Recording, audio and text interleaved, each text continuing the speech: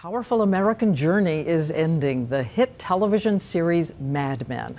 All those men and women trying to claim a piece of the shiny American dream in the 60s. This Sunday night, seven more episodes begin, and the seven final ones next year. So we gathered the stars in one room with creator Matthew Weiner. These people who held us in suspense for nearly a decade, teaching us about American lives. Here's how it began 10 years ago with this face, Don Draper, self invented, glamorous, like America in the 60s. And behind closed doors, cracked by secrets of a punishing Depression era childhood. He's played by Jon Hamm. He's damaged goods in many ways, and he's doing the best he can. He strives, he drinks. He is brutally careless with women. Are you alone? Like his partner, Roger Sterling. When God closes a door, he opens a dress. And every character in the cracked prism of the ad agency in the 60s sprang from the imagination of its creator, Matthew Weiner. I don't judge. That's been the secret of the whole show. I judge people in real life all the time. but I don't judge these characters. They're all trying really, really hard to, to be good people. And this is where they live, inside a kind of 60s time capsule. It really is a replication of a real building. Weiner insists on authentic detail long before Starbucks, the one coffee everyone was drinking then. That that's what should be in the office. This is where Jones gets ready. And on the nightstand, only Vaseline and Pond's cold cream. 23. And there with the Mad Men, three women, gladiators in an inhospitable decade. Christina Hendricks, who plays Joan, Okay, girls, playtime's over. was planned for just one episode, but no one could let her go. Joan would be a CEO in today's America, but then had to make a horrible choice sleep with a client to give herself a chance at a future.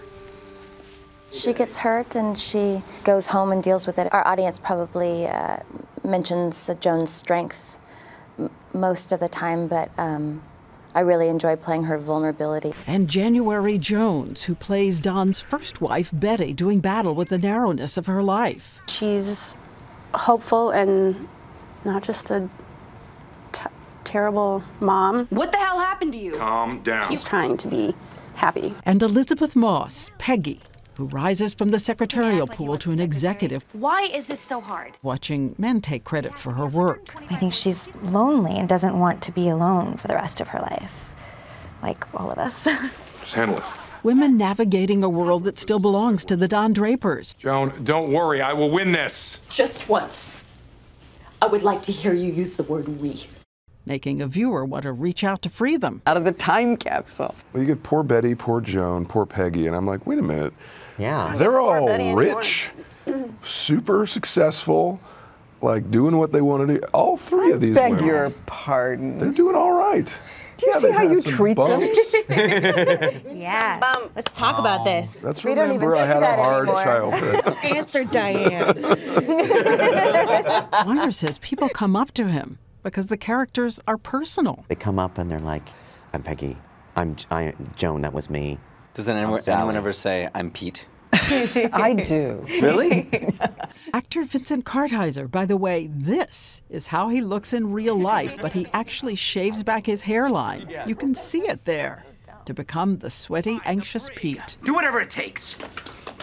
and he just steps up and says, I'll be the, I'll be the face of this kind of ugly truth. And now, 10 years after it began, Weiner is writing the final episode. So we asked the actors who took us on this journey for a decade to give us a last word of their own. Just one word? Thank you. That's two. Oh, thanks. Thanks. It's a little informal. We're not very good when we're not written for.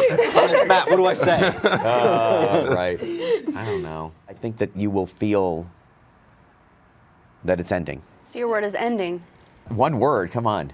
I'd like to say, And, uh, remember. Nostalgia literally means the pain from an old wound. Remember that the past is always present in your life. It is the beginning of the end, but it's not the end of the end.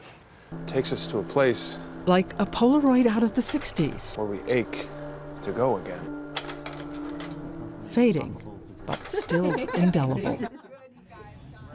And we'll have a lot more of the Mad Men interview tonight on Nightline and tomorrow on GMA.